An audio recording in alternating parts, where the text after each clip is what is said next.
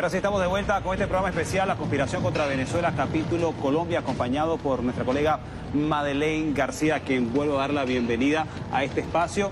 Y bueno, para conversar sobre un tema candente, bastante revelador, como han sido las últimas revelaciones, valga la redundancia, de las fotografías, en donde se evidencia la relación entre la oposición política radical encabezada por Juan Guaidó y grupos paramilitares colombianos. Ya no es una especulación, ya no es una teoría de grupos adversarios a, Juan Guaidó ni del gobierno venezolano, sino que ya es contundente, es incontrovertible, Madeleine.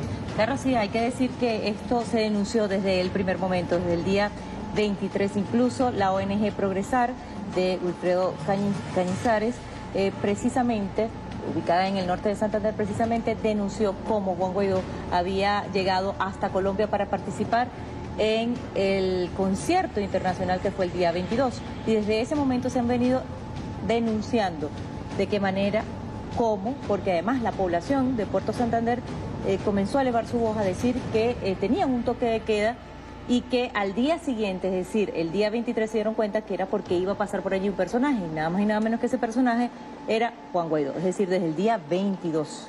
Desde el día 22 y en el contexto hay que, hay que volver a refrescar a la población, a la audiencia. ¿Qué hacía Juan Guaidó viajando de la capital hacia la frontera para cruzar a Colombia? Era vísperas del concierto I Live Venezuela, el cual iba a ser eh, una especie de mega concierto que al final no terminó siendo tal, el cual iba a ser el preámbulo de la operación de tratar de ingresar una supuesta ayuda humanitaria al país y Juan Guaidó iba a, se suponía que iba a liderar esa operación. ¿Quiénes se encargaron de llevar a Juan Guaidó desde Caracas hasta la frontera al lado colombiano? Bueno, ya se ha revelado que fue el grupo eh, paramilitar, narco paramilitar de los rastrojos y como ya hemos precisado y hemos remarcado, no es una especulación, las fotografías así lo evidencian. ¿Qué sucedió luego de esta reunión en la frontera en la que pasa el diputado en desacato al territorio colombiano para intentar de penetrar a Venezuela una supuesta ayuda humanitaria? Eh, no llegaron a, ingresar, hubo un enfrentamiento en el puente. ¿Y qué contenía estos camiones de supuesta ayuda humanitaria. Vamos a verlo a continuación con imágenes que precisamente captará Madeleine García luego de esta operación de supuesta ayuda humanitaria en donde se reveló el verdadero contenido. Vamos a, pedir a la producción que nos coloque este video, este material, para este, refrescar en la memoria de los espectadores sobre este evento.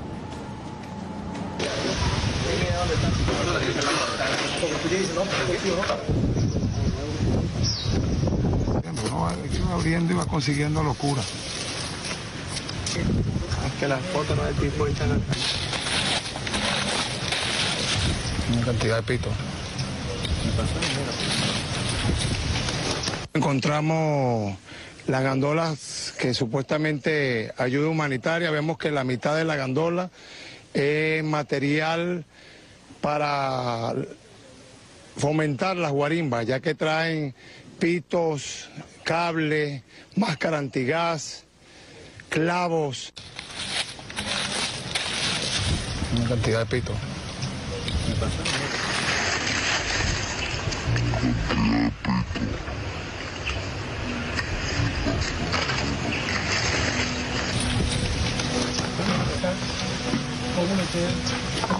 gente que paga. Bueno, Carlos, estas imágenes correspondían precisamente al camión de la supuesta ayuda humanitaria que fue quemado en el puente de Ureña y que la oposición venezolana en conjunto con el gobierno colombiano y sus aliados empezaron a decir que fue quemado por la policía o por la Guardia Nacional que estaba de este lado acá impidiendo que pasaran los manifestantes o los violentos. ¿Cómo ocurrió todo este hecho? Y hay que contarlo. Bueno, recordemos que desde un mes atrás eh, venían promoviendo el, concierto internacional en el puente Tienditas. en San Antonio del Táchira está el puente Simón Bolívar, el puente Tienditas y el puente Ureña. El puente Tienditas fue escogido como ese escenario de guerra y allí es eh, que empezaron a acumular en un depósito la supuesta ayuda humanitaria, prometiendo que el día 23 de febrero sí o sí ingresaba esta ayuda humanitaria.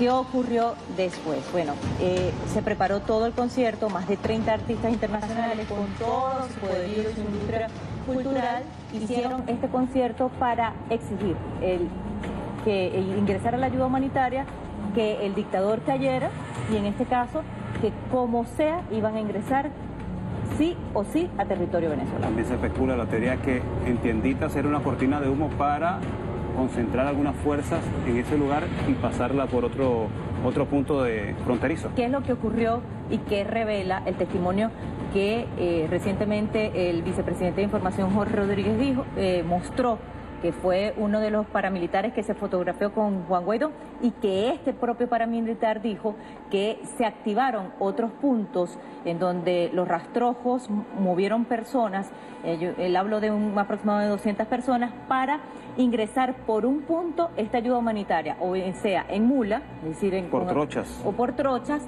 para llegar acá a Venezuela.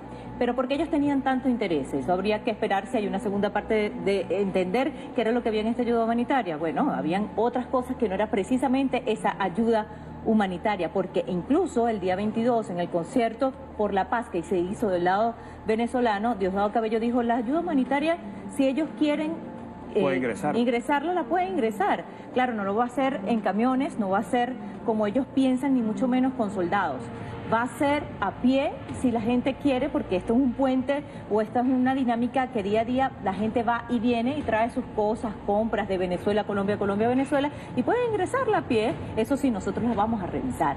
Eso fue lo que dijo Diosdado Cabello el día 22. Y ese mismo día 22, sorpresivamente Colombia dijo, vamos a cerrar la frontera. Nosotros nos preguntamos, ¿cuál era la lógica de cerrar la frontera si ellos estaban más bien intentando ingresar la ayuda humanitaria? En horas de la noche, como a las 10 de la noche, el gobierno de Venezuela se pronuncia a través de eh, Delcy Rodríguez, la vicepresidenta, que informa que el gobierno de Venezuela ha decidido cerrar las fronteras con Colombia Aruba y Curazao, las fronteras eh, aéreas y marítimas. Sí, vamos a recargar en correspondencia con la medida que ya había tomado Colombia. no fue Venezuela la que cerró de manera Correcto, en correspondencia a eso, o sea, atendiendo a que había algo que estaba muy mal, algo que se sospechaba que iba a ocurrir eh, en ese, día, cerraron las fronteras hasta de Brasil y dijeron, bueno, por una situación de seguridad de la nación y porque hay otras intenciones detrás de, esta, de este ingreso de la supuesta ayuda humanitaria, nosotros también vamos a cerrar la frontera.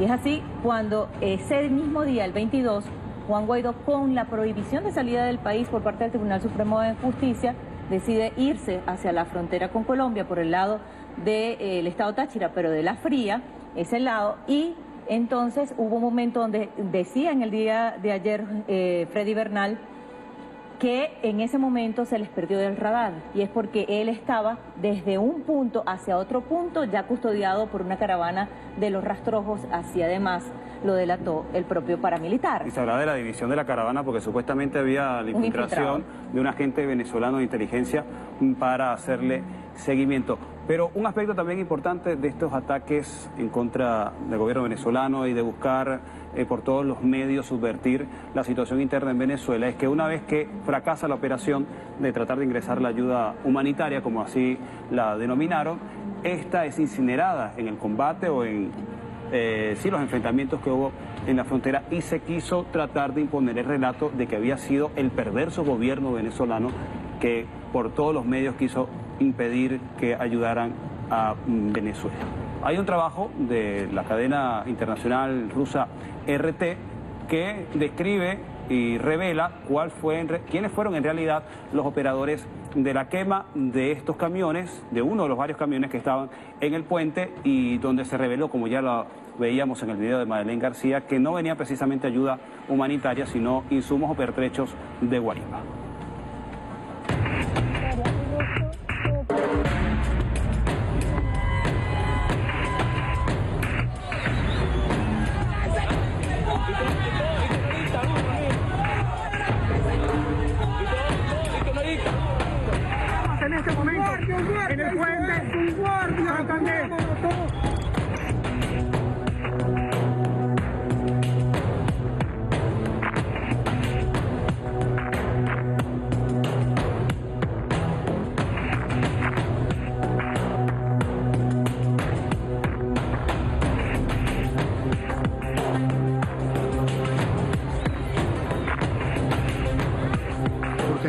Al mundo la inmensa y poderosa operación de falso positivo para agredir a Venezuela.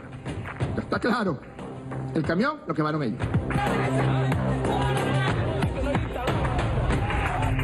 Pero esto ya Telesur lo había denunciado y lo había revelado desde el principio. Es lo que estábamos comentando ahora. Exactamente. Mientras estaba pasando el, el, este material de Russia Today, tenemos que decir que además, eh, meses después, el New York Times también confirma lo que ya Telesur había dicho en su momento, no solamente Telesur, ahí habían otros medios alternativos que también relataron y estaban describiendo lo que allí estaba sucediendo. Y luego, tiempo después, entonces fue el New York Times y Russia Today, que también coinciden con el mismo relato y con la misma información, porque son hechos objetivos. Medios fuera de toda sospecha de ser este, aliados con, del gobierno venezolano. Pero además de eso, no se puede negar algo que está allí. Son hechos objetivos. Y lo que estábamos informando era lo que sucedió. ¿Qué pasó el día 22? Pasa Juan Guaidó, entra por el norte, eh, por el, por el eh, Puerto Santander, lo recibe una comisión del gobierno de Colombia en coordinación con el alcalde de Puerto Santander, que por cierto está preso desde el mes de marzo, no precisamente por tener vínculos con el narcotráfico del paramilitarismo, sino por corrupción. Entonces, frente a eso, ellos eh, llevan una caravana, fíjate que en el día eh, el, testimonio del paramilitar dice, nosotros lo entregamos al gobierno de Colombia, ellos ya tenían un esquema de seguridad. Esas palabras esquemas de seguridad corresponden precisamente a un anillo de seguridad presidencial. Las personas que están vestidas de blanca, de blanco. unas cortinas eh, sí, eh, eh, Tienen, sí, tienen una, una manta, antibalística que está colocada del lado izquierdo, de, por donde va caminando Juan Guaidó, y los que están alrededor, vestidos de blanco, son precisamente de seguridad, de la seguridad presidencial. Cuando entran al estadio está el helicóptero del presidente Iván Duque, o sea, de la presidencia de la República. Le hacen incluso hasta una parada militar a Juan Guaidó. O sea, hay todo un esquema de seguridad y de trato a Juan Guaidó. Eso quiere decir que había una vinculación. Entonces, cuando salen estas escandalosas fotos, y estas escandal eh, primero las fotos, eh, Cancillería Colombia inmediatamente dice, no, nosotros no tuvimos que ver solamente eh, cuando Juan Guaidó llegó. No, no, no, no, para nada. Luego el, el presidente Iván Duque dice, no, sí, nosotros eh, protegimos a Juan Guaidó, estuvimos allí y le brindamos toda la seguridad como se merece el presidente de Venezuela. Olvidando que hubo una relación o una coordinación con grupos criminales, en este caso como los narcoparamilitares. No, no, exacto, no lo van a asumir. Y además los medios de comunicación de Colombia han silenciado de eh, manera... Eh, olímpica. No, que no, hay palabra con qué decirlo. O sea, una operación de maquillaje ni siquiera. Total, nada, absolutamente nada. Silencio completo ante este eh, testimonio contundente de este paramilitar que revela absolutamente todo, esta vinculación de los paramilitares con el gobierno colombiano. Otra de esas operaciones de silencio que han aplicado medios de comunicación internacionales, incluso algunos locales que están alineados con, con Juan Guaidó, fue eh, la trama de los militares venezolanos desertores que habrían escuchado las ofertas de parte de lo que se han denominado como el gobierno provisional de Juan Guaidó y que luego después de haber tomado la decisión de abandonar las filas de la Fuerza Armada Nacional Bolivariana, algunos y otros que eran ya desertores hace mucho tiempo, quedaron abandonados en la frontera. Hay testimonios de ellos captados y tomados por la prensa colombiana, en este caso la W Radio, en el cual vamos a responder a continuación el testimonio de uno de estos militares en el cual describen el abandono al que fueron sometidos por los dirigentes de oposición y exigiéndole a estos mismos que los atendieran en uno de los lugares a donde están los militares venezolanos, miembros de la Guardia y policías en la zona de frontera, específicamente en el municipio de Villa de Rosario. Hoy nos hemos encontrado con una información y es que algunos de ellos les han entregado un documento exigiéndoles que deben salir de este lugar, un refugio que ha sido condicionado por las autoridades colombianas para estos miembros de la Fuerza Armada venezolana. Vamos a dialogar con algunos de ellos para que nos comenten cuál es la situación.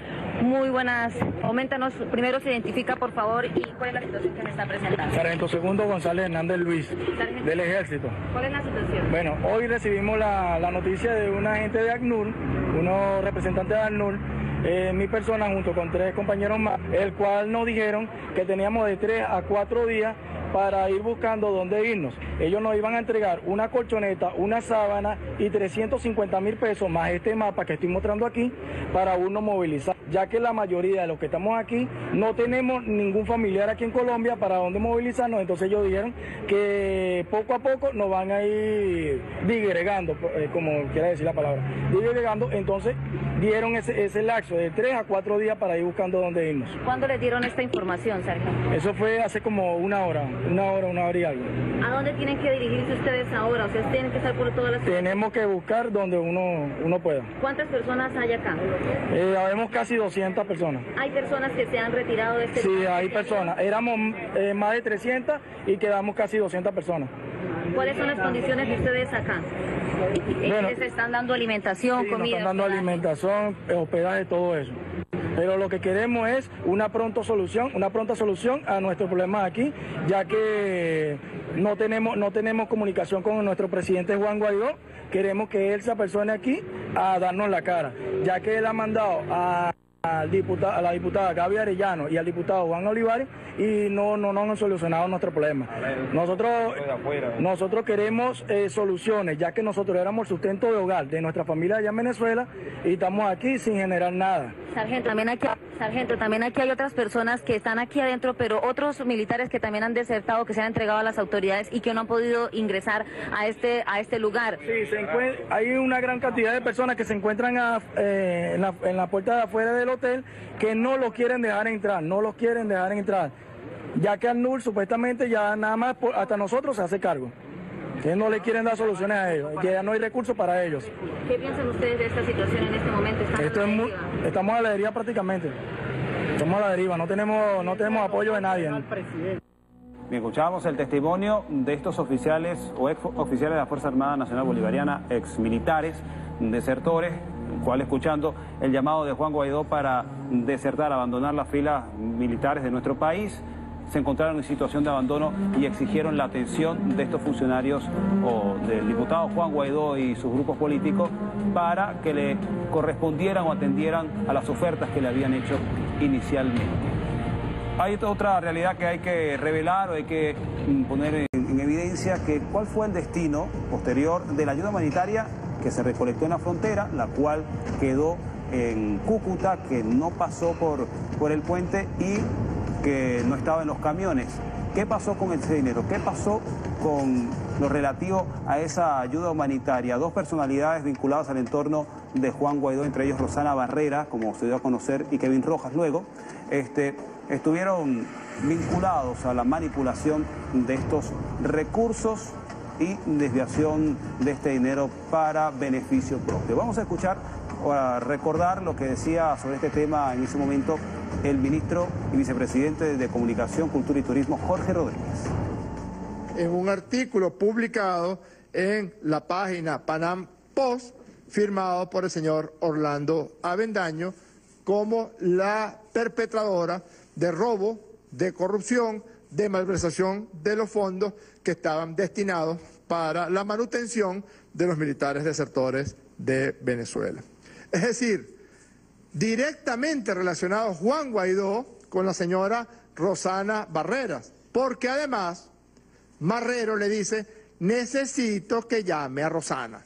Después le dice a Rosana de Cúcuta, el señor Marrero, que le mande los números de cuentas para hacer el depósito que ascendía muchas veces a entre 75 mil, 300 mil y 700 mil dólares diarios para la manutención de esos militares desertores, que incluso no eran en su mayoría tales militares desertores. Habían algunos militares desertores, pero también habían personas con antecedentes penales, también habían personas que vivían en Perú, habían personas que estaban ilegal en Colombia y con este trama de esta señora Rosana Barrera en Cúcuta los hacían pasar por militares para engrosar la lista que llegó a ser de 1.460 personas, cuando en verdad registrados por el gobierno de Colombia hay 354 militares.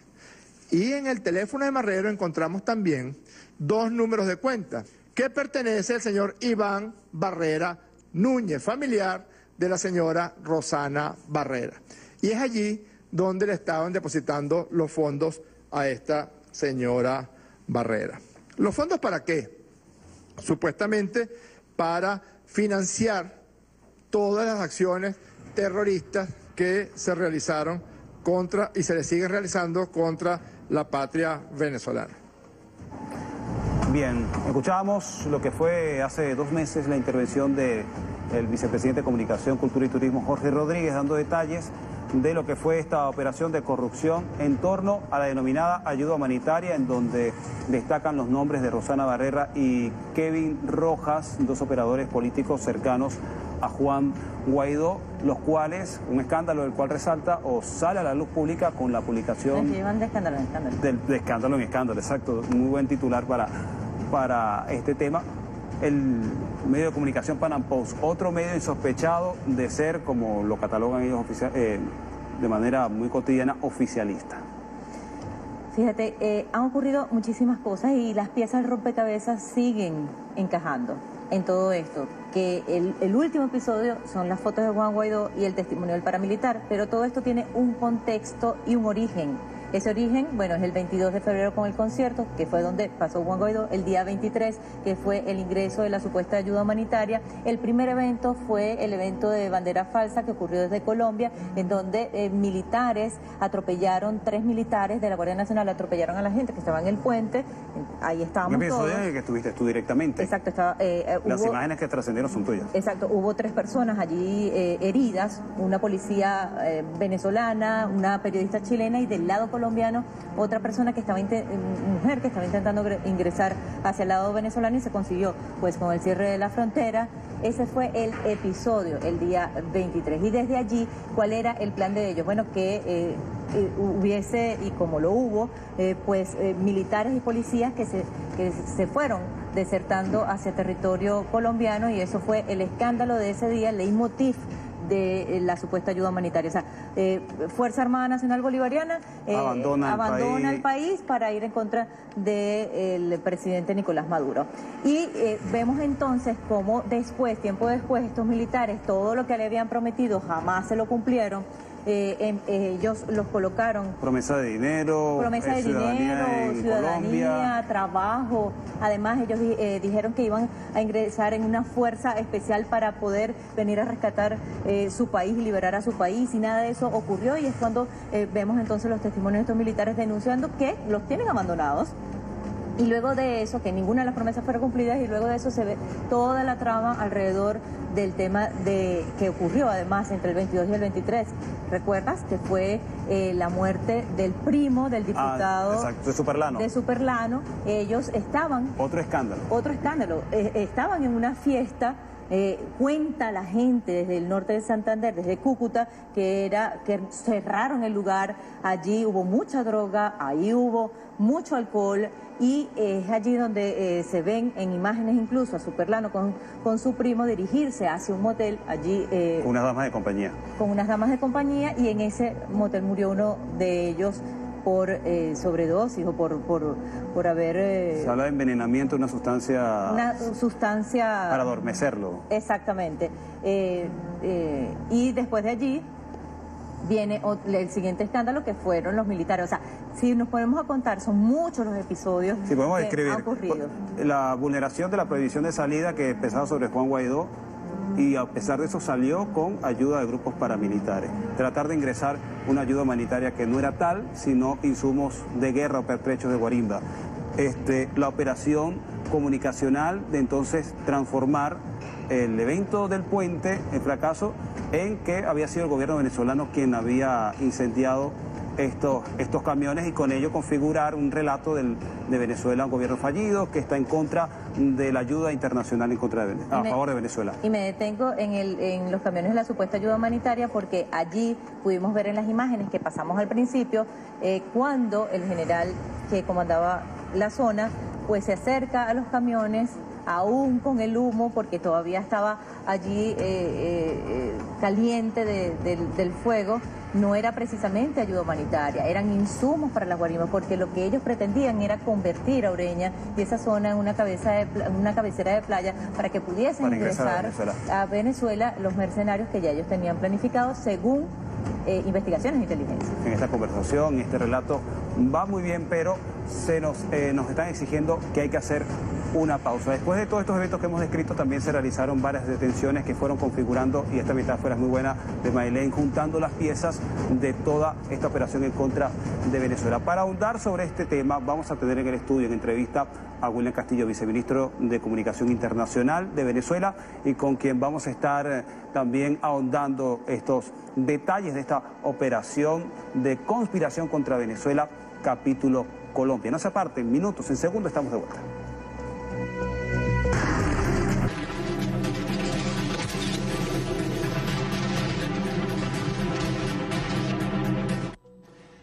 Estamos de vuelta con este programa especial, La Conspiración contra Venezuela, capítulo Colombia. En esta oportunidad, como ya lo habíamos anunciado, acompañado por William Castillo, viceministro de Comunicación Internacional, y Maelén García. Vamos ya a ampliar los detalles de lo que hemos venido conversando desde el comienzo, los aspectos que revela esta última publicación y divulgación de las fotografías de Juan Guaidó y cómo esto también se empalma, como es el título del programa del capítulo Colombia, cómo ha sido utilizado Colombia, sus autoridades, para agredir a Venezuela. Sí, bueno, yo quiero tomar una frase de Madeleine que la ha dicho varias veces en su cobertura, ¿no? Y hay que rescatar la cobertura que ha hecho Telesur eh, desde el mismo momento que se dieron estos hechos, ¿no? Ha sido el primer medio nacional e internacional que desmontó esto, ¿no? Y es que esto es una suerte de rompecabezas que se ha ido armando y a medida que han ido apareciendo las piezas se va completando el rompecabezas y se va viendo la generalidad de lo que es el título de este programa, la conspiración de Colombia contra Venezuela. Creo que el 23 de febrero marca un hito dentro de un plan. Ese plan uno puede decir, bueno, tienen el 23 de enero un punto por supuesto importantísimo, tienen el 23 de febrero otro punto importantísimo y tienen el 30 de abril. Yo diría que de enero para acá son los tres momentos en que uno puede identificar el desarrollo de un plan conspirativo en Venezuela que viene a completarse ahora más de manera dramática con la revelación de una foto que nos dicen que no solo estamos en presencia de un golpe de Estado, de una conspiración, sino que estamos en presencia de una operación para introducir en Venezuela el paramilitarismo, para ceder territorio este, bajo un compromiso político y que si Juan Guaidó llega a la presidencia de Venezuela, va a ceder territorio de Venezuela al narco paramilitarismo es lo más grave, además. que es lo más grave de todo esto. Entonces, estamos viendo la película, en pleno desarrollo como diría Walter, pero que cada elemento que va surgiendo va agregando al contorno de ese rompecabezas que demuestra claramente que Colombia se ha convertido hoy en la base de operaciones para agredir a Venezuela y que su compromiso con la agresión a Venezuela pasa no solo por el aspecto económico, este, el robo de los activos como acaba de hacer con monómeros, este, el sabotaje, el dólar negro, el paramilitarismo, el narcotráfico, se están usando todos los recursos para la guerra comercial. Y lo más dramático eh, es que son apoyados por Estados Unidos, el país que dice combatir el terrorismo, combatir eh, todos estos extremismos y resulta ser que están apoyando una acción extrema, una acción paramilitar, narcotráfico, porque el fin justifica los medios. Entonces es la doble moral, el doble rasero frente a este tema. Es decir, cómo se utilizó el territorio colombiano y eso es lo que decía eh, la ONG Progresar, Wilfredo, que, eh, que, fue uno de los que mostró las fotos de Juan Guaidó con los paramilitares. O sea, lo que ocurre en Venezuela, cómo llegó el señor acá, eso, bueno, tendrá que resolverlo en Venezuela. Lo que sí nos interesa desde Colombia es cómo el gobierno colombiano ha utilizado el territorio eh, colombiano para agredir a Venezuela y sobre todo, más allá de eso, cómo están vinculados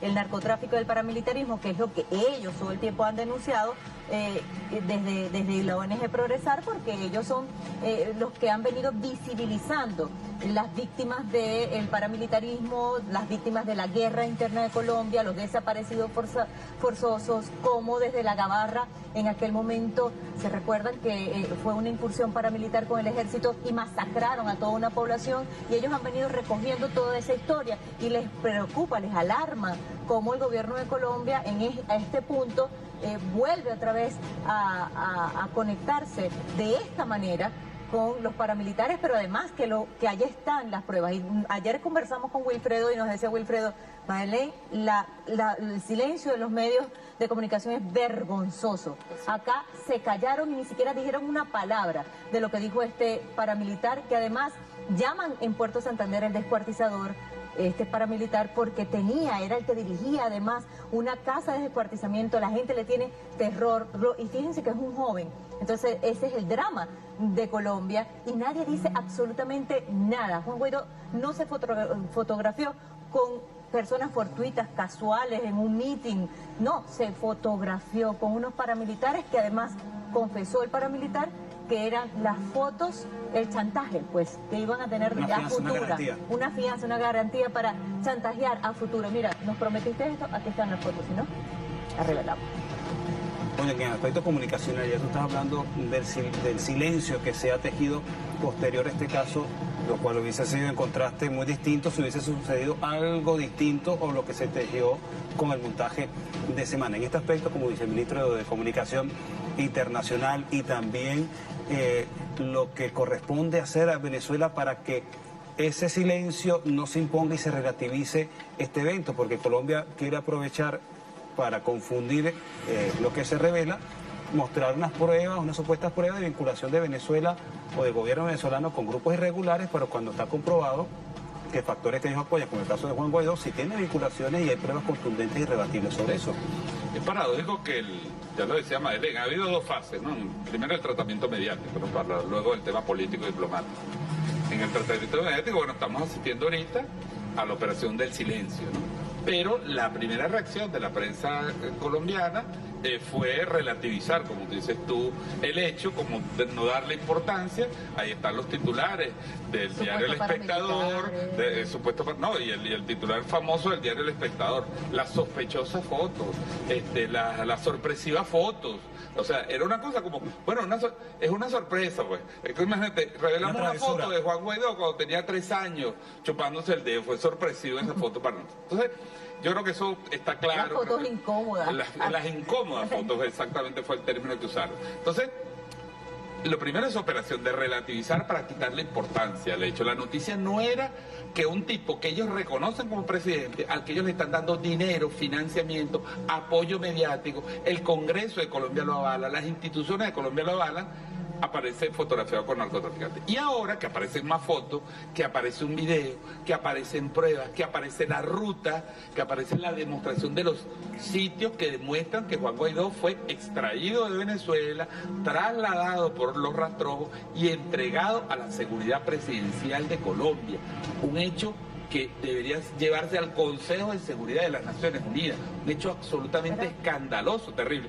Pero, pero cuando sucede eso, entonces no hablan del caso. Pero además, eh, el chofer del alias eh, Patrón Pobre, eh, resulta que eh, lo entrevista en este 24, lo replica RCN, que es lo único que han dicho. O sea, nunca titulan, nunca titularon absolutamente nada de lo que dijo el paramilitar. Nunca titularon nada, por lo menos tuvieron la decencia de decir, Nicolás Maduro dice que Nariz, desde la Casa, Nariz se, coordinaron con los paramilitares. Ah, por lo menos tuvieron esa decencia. Pero eh, entrevistan a este diciendo que eh, bueno, que es un ciudadano normal, común y corriente, que lo que quería era conocer a Juan Guaidó y que prestó su camioneta. Cuando es allí conocido, porque todo el mundo se conoce allí, cuando es allí conocido que forman parte no de la estructura de los rastrojos, pero sí de la estructura de, de eh, apoyo, del, narcotráfico, de, de la estructura financiera, del contrabando de combustible, y alguien comentaba, bueno, por algo le dicen patrón pobre. Es decir, no era sino de poca monta.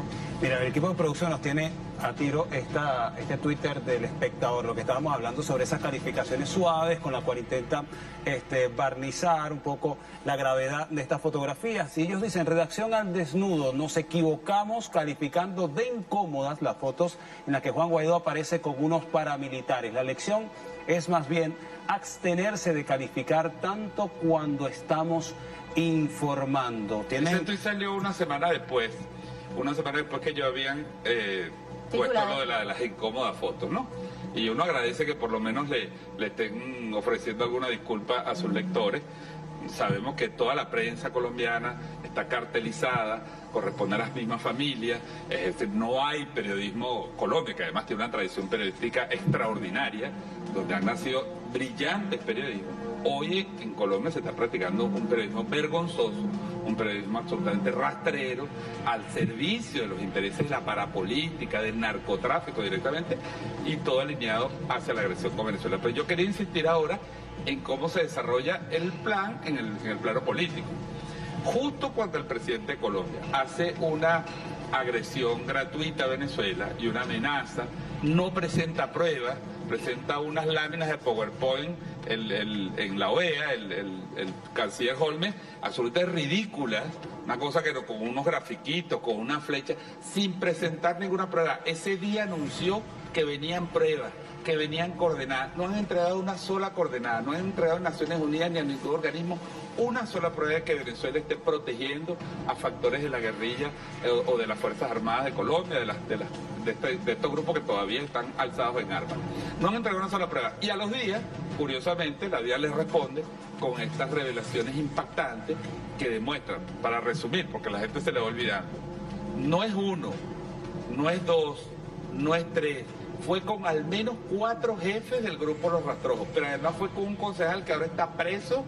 Este, a los días lo metieron preso por corrupción. El alcalde. El El alca- exalcalde. eh, eh, un, un alcalde y a- que además es sobrino del embajador de Colombia en Cuba. Es decir, que están vinculadas. En Colombia la política funciona a través de los nombres de la familia. Todo el mundo lo sabe históricamente, que la oligarquía colombiana teje una red de vínculos familiares, se casan entre ellos, tienen familias, tienen negocios y que los poderes se reparten, sea el gobierno liberal o conservador, se reparten eh, los factores de poder entre esas, entre esas familias, entre los apellidos. Entonces yo creo que es importante que nuestro pueblo, este, que los mismos medios sigan investigando estos temas porque aquí va a salir una historia y se está construyendo una historia increíble que nos demuestra, repito, la gravedad de lo que está haciendo Colombia, la agresión histórica que está cometiendo Colombia contra el pueblo de Venezuela, prestando su territorio, presionando sus Fuerzas Armadas, usando el narcotráfico para agredir a un país, para dañar a un país, por el solo hecho de tener un modelo político y social diferente. ¿Qué hubiese sucedido si Diosdado Cabello, si Nicolás Maduro hubiese salido retratado con alguien? Decían los opositores, César Pérez Viva decía en uno de sus Twitter, bueno, se- salen retratados con la guerrilla de la FARC. ¿Y dónde está la foto? No, pero vamos a suponer que sea acá, ellos se Hay una, sola, hay, una, hay una sola foto de Iván Márquez cuando estuvo en Caracas con Chávez y Chávez fue el que la publicó. Pero además, y, y salió en venezolano en televisión. Pero se transmitió el- el- además, la, la visita de Iván Márquez a en- Venezuela. en las cosas de, de la FARC o las relaciones con la FARC fueron eh, autorizadas por el Así gobierno de. Colombia en el marco del acuerdo de paz. Todas las reuniones que ha habido en Venezuela, que hubo con Rodrigo Granda, que hubo con Iván Márquez, que hubo con distintos voceros de la FARC, fueron absolutamente autorizadas. Mira, hay un video del día 5 de septiembre del 2012. El comandante Chávez en la recta final de su campaña presidencial para las elecciones del 7 de octubre, el día anterior se había anunciado el inicio de los diálogos de paz y hay que buscar ese video, está en YouTube, véanlo para que ustedes vean un análisis de la situación colombiana y cómo el presidente va contando los pasos que él dio, todos autorizados por Del los gobiernos, desde Pastrana, Uribe y Santos para apoyar la paz en Colombia. Venezuela lo que ha hecho es trabajar por la paz en Colombia, porque la paz en Colombia también es estabilidad para Venezuela. Willy, hablan del foro de Sao Paulo que eh, la guerrilla colombiana estuvo aquí. Ellos ahora son un partido político.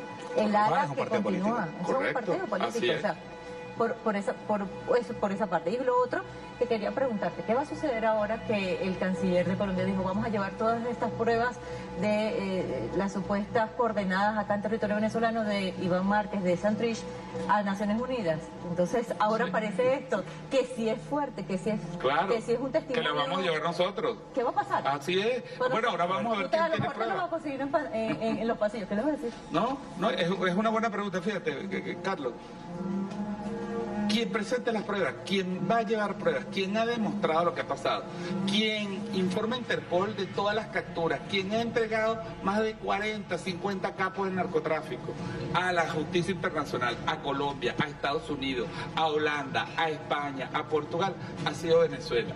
Es decir, el país que más ha convertido a los grupos paramilitares y narcos, que ha entregado pruebas, que tiene informes, que tiene coordenadas. Hace unos días intentaron una operación este, De explosivos en provocación Eh, aérea. Lo que pasa es que tenemos un sistema raro y tenemos una fuerza aérea, una fuerza armada nacional que está al día en el, en el cuidado del espacio aéreo. Y entonces ahora ellos dicen que no, que estaban cuidando unos aviones y unos vuelos ahí que venían de Venezuela. Antes de continuar, como va muy bien la conversación y aprovechando que estamos tocando el tema de las pruebas incontrovertibles que tiene y dispone Venezuela y en este contexto de lo que va a ser la- el inicio de sesiones en el periodo especial de las Naciones Unidas, vamos a compartir con ustedes lo que fue parte del testimonio de uno de esos paramilitares, uno de los cuatro, Arias Nandito, quien es el que describe toda esta operación de traslado de Juan Guaidó, el cual incluye también esa operación de amedrentamiento, de toque de queda que hubo en torno a las poblaciones para que se guardaran y no presenciaran lo que fue esta operación de extracción del diputado Juan Guaidó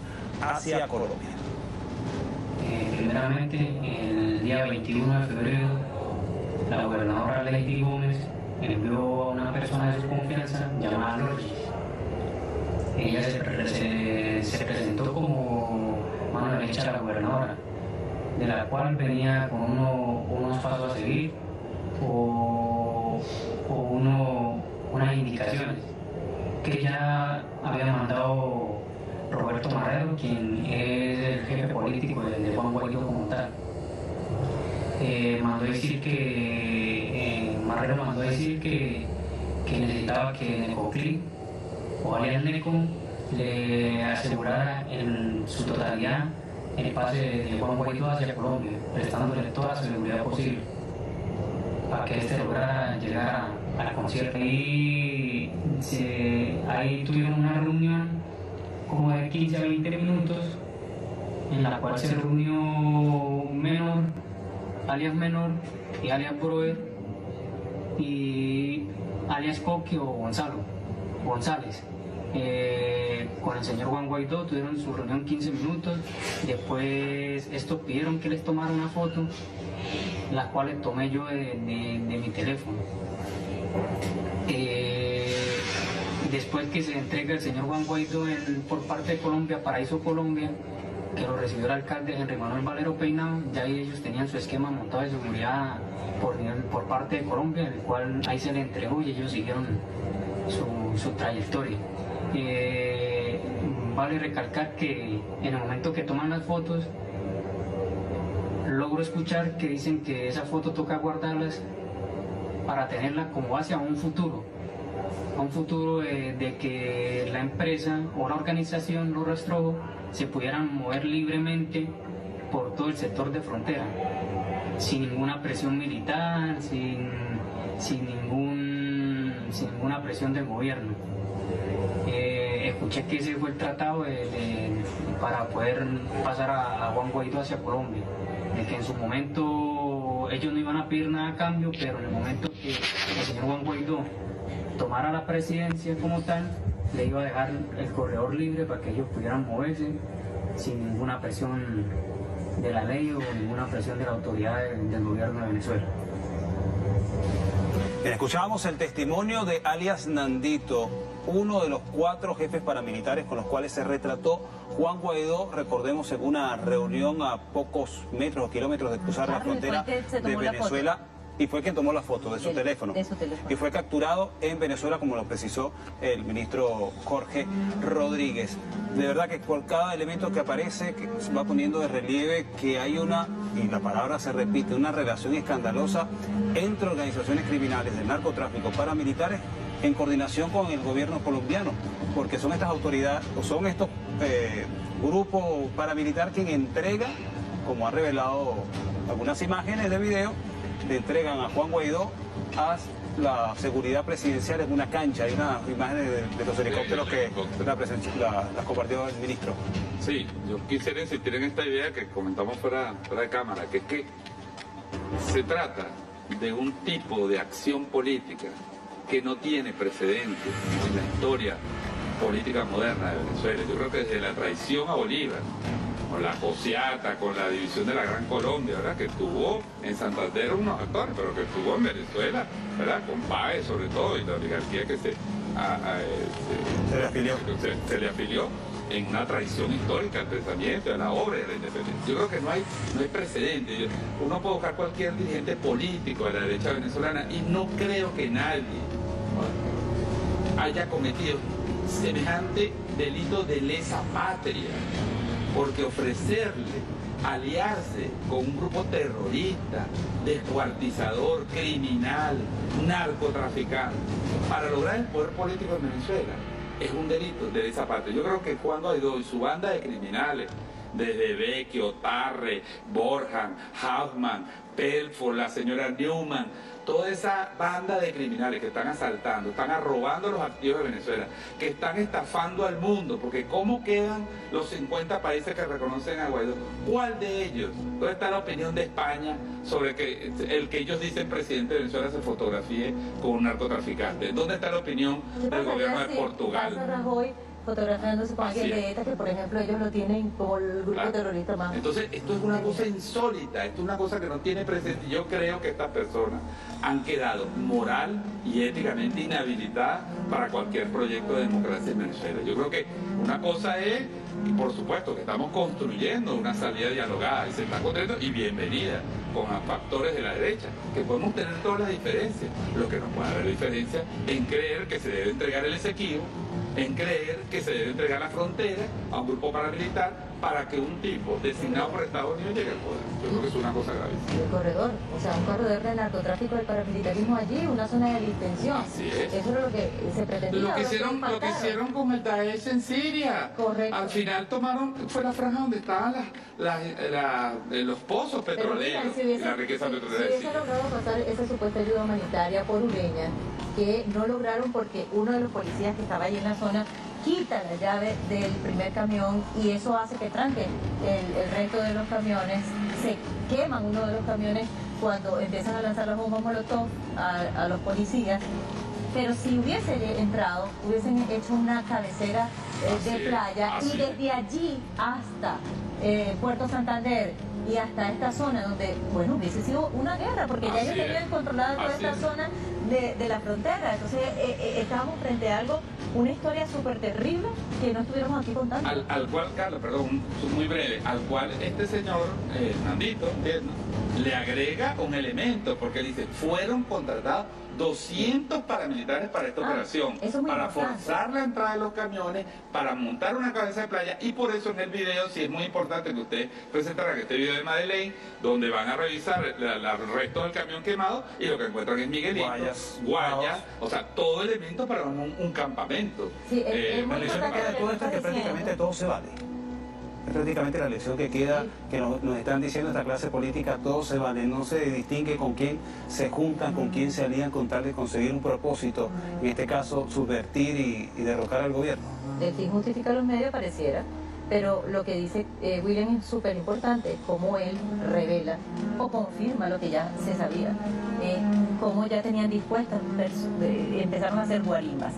con estas guarimbas ellos iban a distraer esa fue la palabra, a las autoridades venezolanas mientras estaban con esto, ellos iban a ingresar la supuesta ayuda humanitaria por otro lado. Pero repetimos, iban a ingresar esa supuesta ayuda humanitaria, qué contenía esa supuesta ayuda humanitaria, eso es lo que vimos. Pero más allá de eso, ya el gobierno colombiano, como comentábamos al principio Carlos, había dicho, si van a ingresar la ayuda humanitaria, quien quiera, vaya a buscarla, pasa, como pasan todos los días por el puente Simón Bolívar con eh, paquetes, entran y nosotros lo revisamos. Así es. Y importante rescatar, importante rescatar este elemento de la contratación de elementos paramilitares para generar subversión o subvertir la frontera. Un testimonio que había rescatado Kir, el periodista chileno que para Hispan TV, debajo del puente, en donde uno de estos guarimberos muy lejos de tener un lenguaje un poco civil, hablaba y arengaba a los demás que cuando vieran un guardia darle de baja lo que cual denota que tiene un entrenamiento esa persona de operación irregular, que no era precisamente un espontáneo ciudadano venezolano que disgustaba con el gobierno, a lo mejor le estaba tirando piedras y combatiendo a las autoridades. Así no, pero es que ahí habían paramilitares. No, exacto, pero lo que te estoy diciendo, no, estos testimonios que captó la prensa revelan prácticamente la concertación de lo que se viene confirmando ahora. De, de lo que estaba planificado el 23 de febrero con Guarimba, contrataciones paramilitares, forzar la ayuda humanitaria, la operación de distracción al mundo con el supuesto concierto, el sentido de que eso es parte, parte de la cobertura que se le iba a dar a todo esto. ¿Dónde están? ¿Cuál es la opinión? Pero fíjense, se revela en el hecho de que lo que estaba detrás era precisamente una operación de carácter militar una ocupación de nuestro territorio, forzar, quebrar las fronteras para provocar un enfrentamiento y legitimar ese supuesto gobierno, el gobierno fantasmal de, marioneta que existe eh, para algunos países hoy en el mundo, con una ocupación territorial. En los planes de Estados Unidos es necesario, en este tipo de planes de guerra de amplio espectro, la ocupación física del territorio. Porque es la forma en que tú puedes legitimar algo. ¿Cuál es el gran problema que tenía en Venezuela? Que no han podido ocupar un territorio por eso atacan por el Esequibo, atacan por el lado de Brasil, atacan por el lado de Colombia, que es el lugar más sensible, donde obviamente existe más fuerza contraria a nosotros. Y yo creo que eso es lo, importante nosotros debemos saber y debemos sacar todos los venezolanos, partidarios del gobierno o no partidarios del gobierno, qué significa lo que están haciendo estas personas para el futuro de Venezuela, para el futuro de nuestra identidad de nuestra nacionalidad, de nuestra soberanía territorial.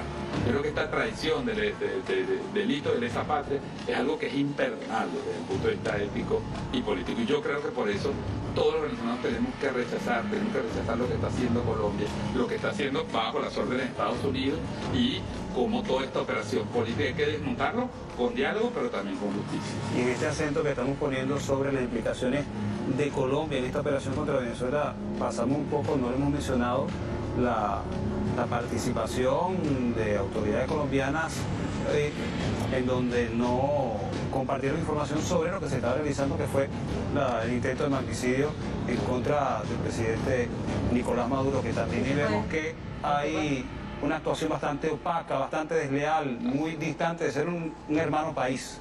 Bueno, porque lo que está, porque Colombia está alineado.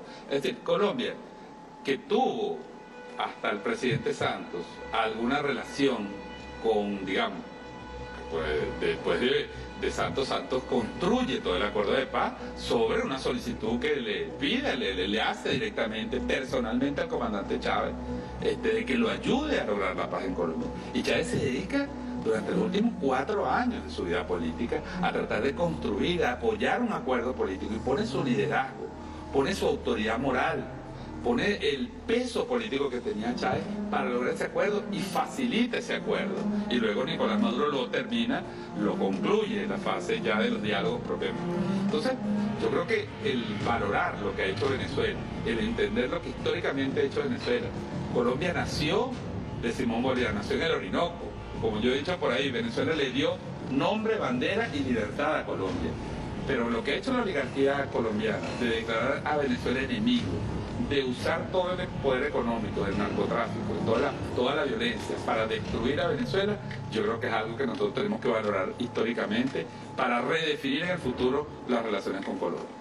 Y hablando del futuro inmediato, la estrategia de Venezuela, eh, la posición que va a asumir ante los organismos multilaterales para contrarrestar estas denuncias con las cuales el Estado colombiano pretende desviar la atención de este escándalo? Bueno, estos días vamos a tener, ya están el canciller, va a estar la vicepresidenta de la República encabezando, vamos a llevar 13.287.000 40 mil de firmas este, recogidas. Vamos a llevar la voz del pueblo de Venezuela, va a estar, como dije, nuestra vicepresidenta, nuestro canciller, se va a reunir el ALBA, se va a reunir este, la CELAC, se van a reunir los amigos de Venezuela, van a, van a reforzar la verdad de Venezuela, la defensa de Venezuela a rechazar los ataques. Ya comenzaron hoy los ataques con eventos paralelos. Hay una delegación fantasma que vergonzosamente ha sido acreditada eh, por Brasil y creo que por Colombia también en una operación verdaderamente vergonzosa desde el punto de vista diplomático que demuestra hasta qué grado están entregados Iván Duque y Bolsonaro a las órdenes de Donald Trump para sabotear la presencia de Venezuela, para dañar a Venezuela. Pero bueno, ahí va a estar nuestra delegación dando la batalla, están los amigos de Venezuela, están los aliados y sabemos que la verdad se va a imponer. En así que esperemos, pues yo creo que vamos a esperar las acciones porque vamos a tener muchas noticias esta semana desde Nueva York. Yo creo que es importante rescatar en todo esto que mientras se siguen revelando estas pruebas, mientras salen las fotos, que ha hecho un sector de la oposición venezolana no radical, democrática. Pues se ha sentado con el gobierno de Venezuela en una mesa de diálogo, firmaron un acuerdo parcial con seis puntos. Esta semana que inicia eh, van a haber eventos, van a haber acciones dando respuesta a esos seis puntos. Ya, bueno, ya hubo, uno que eh, fue la liberación de Edgar Zambrano, primer vicepresidente de la Asamblea Nacional, que hay que recordar que fue detenido porque, eh, bueno, se desvió en el escenario del, del distribuidor Altamira participando el 30 de abril en el intento de golpe de Estado y es por eso fue detenido. Así como Guaidó. Esta, se le ve una fotografía, Zambrano estaba abrazándose, estaba en, el distribuidor ese día. No, exactamente, pero además de eso, este, estas, estos seis puntos, nosotros entrevistamos a varios de ellos, entrevistamos a Timoteo Zambrano, y que decía ellos, bueno, nosotros no podemos esperar que eh, actúe eh, eh, o, que no den respuesta. Llevan nueve meses sentados y no hay ningún tipo de respuesta, no hay confianza y el país hay que sacarlo adelante. Nosotros tenemos una posición diferente. Nosotros no creemos en invasión, nosotros no creemos en golpe de Estado, creemos en una salida negociada. En el, en el voto, en el voto como única salida a esto y para eso están preparando entre todos el escenario electoral. ¿Y cuál es el escenario electoral? El más inmediato, que está dentro de la Constitución, la Asamblea Nacional por eso la reincorporación de la bancada de chavismo ante a, la Asamblea Nacional. Se espera que sea esta semana, eso forma parte del acuerdo. Y así poco a poco irá logrando la Hay que valorar muchísimo un gesto político, así como denigramos esto, hay que reconocer que la apertura de un espacio de diálogo y en política es así, en política al final eh, se trata del interés público. Si el interés público es la paz, es evitar una guerra, es evitar el enfrentamiento entre los venezolanos valen todos los sacrificios y todas las negociaciones y acuerdos que se puedan hacer. Yo creo que hay que valorar, hay que valorar ese gesto de la oposición venezolana y por supuesto el gesto dialogante, permanente de la revolución del presidente Nicolás Maduro y de todas las fuerzas políticas que la acompañan. Yo creo que es una es un golpe moral, ético y político a esta configuración vergonzosa que está desde Colombia y de Estados Unidos. ¿Y entre la vida y la muerte? Evidentemente apostaron a la vida, a la vida y a la convivencia medio de la diferencia y hacer política de verdad. Es lo que básicamente han dicho rescatar la institucionalidad, normalizar el país, estabilizar la economía para poder avanzar y luego con los esfuerzos políticos, bueno, dar un golpe, eh, pero un golpe en el voto, en las elecciones y ocupar el poder político frente a eso. Y en este, en este sentido apartar y alejarse del tema de la, de la oposición radical que no le ha hecho pero absolutamente nada de bien al país como tal. Entonces, eh, yo creo que la conclusión de todo esto viene, viene dado a eso, a ese golpe moral, a ese golpe ético y a eso. Yo hoy estaba leyendo algo de Marie Kleinfeld y decía ella, bueno, amaneció de diálogo con el tema de, de esta mesa y este, y este acuerdo y a eso hay que escoger.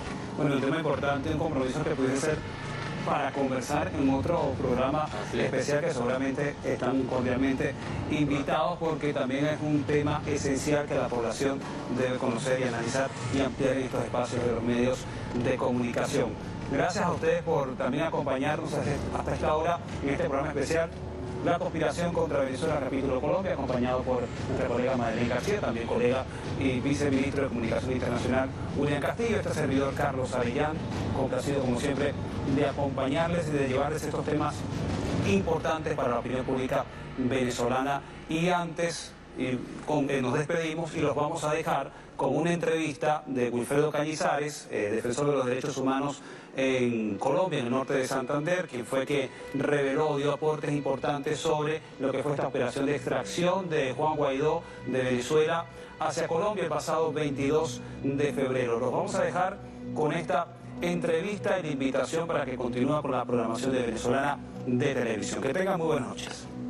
Hoy en Revelados nos acompaña Wilfredo Cañizares, quien es presidente de la Fundación Progresar, una ONG de derechos humanos en Cúcuta que ha denunciado la violencia de los últimos años en la frontera colombo-venezolana.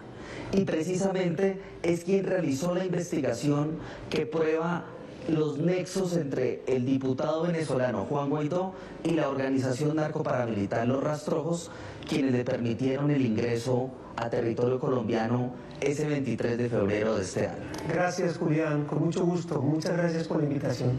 Precisamente queremos consultarle a usted, la inteligencia militar le pagó a los rastrojos para permitir el ingreso de Juan Guaidó o los agentes estatales históricamente han tenido una conexión con organizaciones al margen de la ley?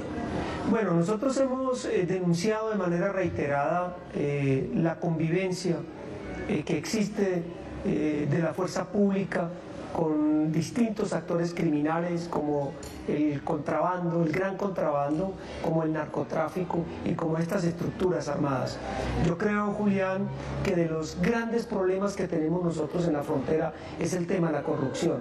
Ahí, por supuesto, se mueven miles de millones eh, de pesos eh, diarios eh, solamente el tema de la coca, por ejemplo, las 34 mil hectáreas de hoja de coca que se producen en el Catatumbo producen alrededor de 190 mil kilos de coca al año. Y una de las rutas de salida de parte de esa, de esa pasta de coca es por ahí, por Puerto Santander. Entonces aquí estamos hablando de unos negocios de unas dimensiones enormes que ha llevado a que nosotros incluso eh, le planteemos al gobierno nacional en distintos escenarios la necesidad de una intervención a las autoridades locales. ¿Cómo estableció usted que Juan Guaidó ingresó a territorio colombiano? Nosotros comenzamos a tener información eh, incluso más grave de, lo que ocurrió luego. Nosotros teníamos información que habían grupos armados, nosotros tenemos información que habían eh, exmilitares venezolanos organizados y armados, nosotros teníamos información que estaba llegando gente de Medellín y de Caracas eh, armada para, generar caos y violencia en, la zona, en la, frontera. Eh, en medio de esto, eh, nosotros nos enteramos porque alguna gente nos llama a decirnos que los rastrojos habían impuesto un toque de queda y que no estaban permitiendo a algunas familias salir y que algunas familias no habían alcanzado a mercar y que había problemas para que esta familia pudiera comer. Luego cuando aparece Guaidó, eh, para nosotros no fue una sorpresa porque sabíamos que Guaidó iba a llegar y que iba a entrar por algún lado. Nosotros jamás nos imaginamos que la ruta escogida por el señor Guaidó y su comitiva de miembros de la oposición iba a ser por Puerto Santander, porque nosotros hemos denunciado muchas veces que Puerto Santander es tal vez uno de los municipios de Colombia en donde los rastrojos o una estructura armada criminal tiene mayor control. Y nunca nos imaginamos que fuera por ahí, por eso, porque ahí nada, nada, la vida, la cotidianidad, los negocios, la política, lo público, el transporte, la economía ilegal, todo lo controla.